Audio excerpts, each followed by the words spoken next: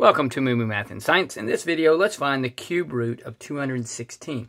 So I'm going to start with a factor tree. So we have 2 times 108. That equals 216. I'll circle the 2 because it is prime. Now 2 times 54. Circle the 2 because it is prime. Now 2 times 27 equals 54. Circle that 2. How about 3 times 9 equals 27? And then 9 is 3 times 3. So now I have all of my prime numbers. So now what I can do is put the all under the cube root sign.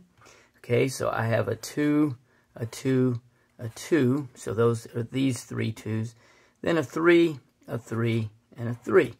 So now the deal is if you have groups of 3, you can take them out from under the sign but you only take one number. So here's a group of 2's. So I'll take that out. So we have 2. And here's a group of 3's. So I'll take the 3 out. Multiply 2 times 3. That is 6. So the cube root of 216 is 6. Hope that helps. And remember, kindness multiplies kindness. Be kind to someone today.